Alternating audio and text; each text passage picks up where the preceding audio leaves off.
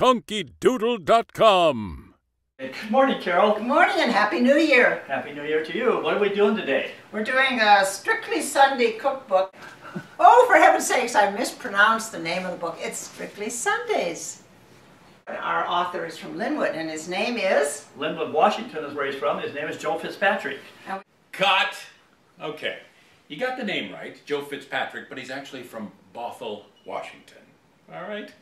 And now back to our regularly scheduled program. We found garlic parmesan potatoes in there that look so delicious and we're making them for you today. Very simple recipe, only five ingredients. The ingredients are potatoes, garlic, butter, canola oil, and Parmesan cheese. What we're going to do today is start by running through the mandolin three nice big russet potatoes. And I suggest that if you use a mandolin, that you use a, a great deal of care because you can cut the end of your finger off. To the potatoes, Doug adds 10 minced garlic cloves, 4 tablespoons butter, and 2 tablespoons canola oil.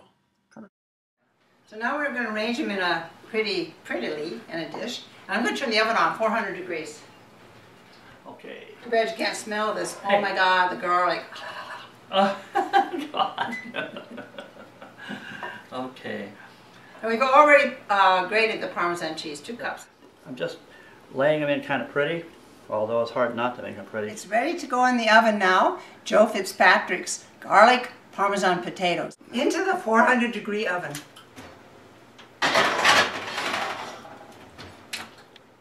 After 45 minutes, Carol takes it out of the oven and sprinkles on 2 cups shredded Parmesan cheese, returning it to the oven for an additional 15 minutes.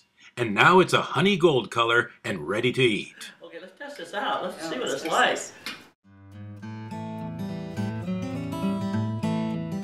You can purchase the cookbook at Amazon or at the Wooden Spoon Shop in downtown Edmonds. Or you can go to the website strictlysundays.com and purchase it for $19.95 and that includes shipping. Hey, Carol, thanks for inviting me. Let's try this out. That's really good. Mmm. Oh, that is delicious. Mmm. mmm. Hey. Here's to you. Here's to you.